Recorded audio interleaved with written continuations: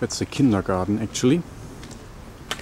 So children playing there normally.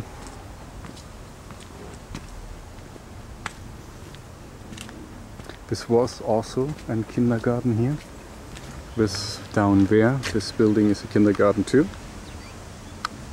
So fortunately here are a lot of children still, but uh, besides that the Germans are dying. It's a dying breed.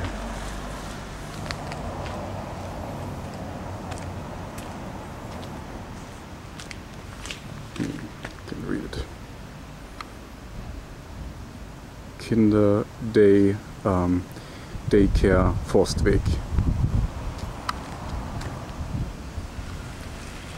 Uh, I don't know how you call this in English, but this is from a fairy tale Dornröschen.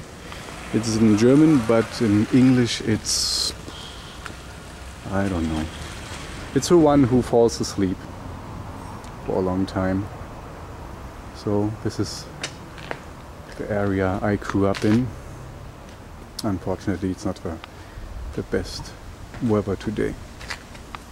Like I said, this is another kindergarten.